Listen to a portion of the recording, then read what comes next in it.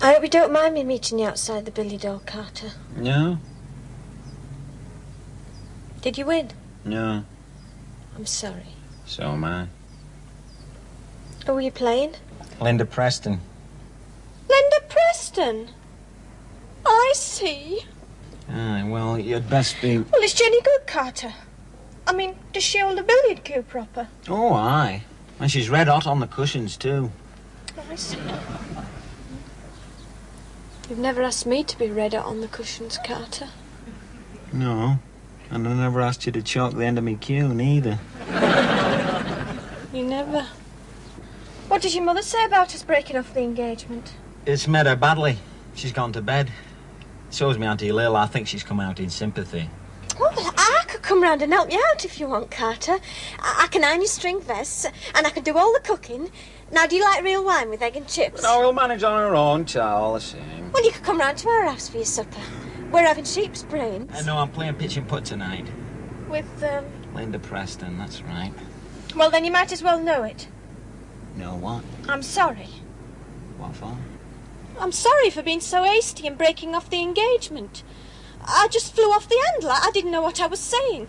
What with all the worry of saving up and trying to get you interested in draft excluders and waste disposal units and... Oh, Carter. Carter.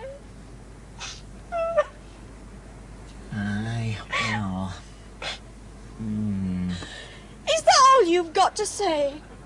I poured my heart out to you. I, I've humbled myself in front of you, and all you can say is, I well, mm. Aye, well. Oh, Carter. Carter.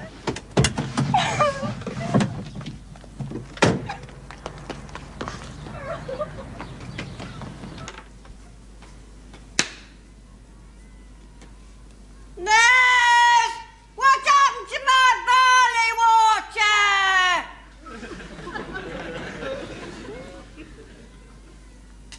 Nurse!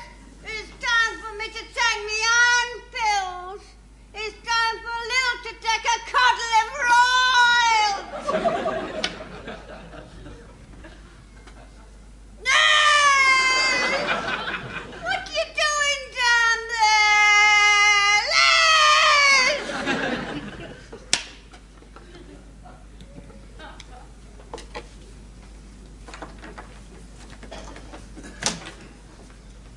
Hold your hush, woman, we're busy.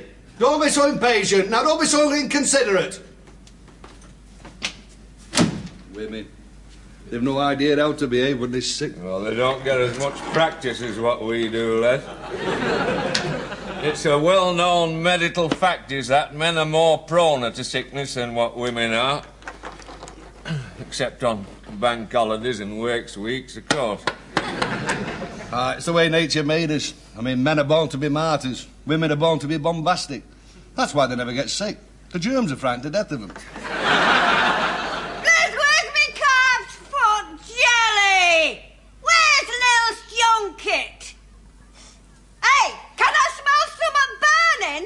You've not dropped cinders on dog again, have ya? Yeah. I lost all enjoyment out of being sick once my mother died. Why's that? Uh, because she pampered me. She didn't bully me like what a wife does when you're poorly. She treated me more like, more like a, a pet dog what's been run over by a trolley bus. Ah, that's efficacious, is that? Yeah, nothing was too much trouble for my mother when I was poorly.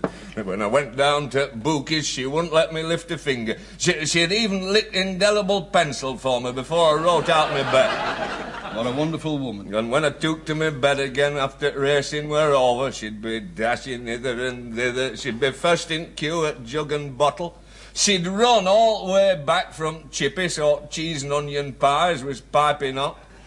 And I'd only to stand on top of stairs and bellow once, and she'd be in that bedroom hurling coal on fire like Chief Stoker on Mauretania.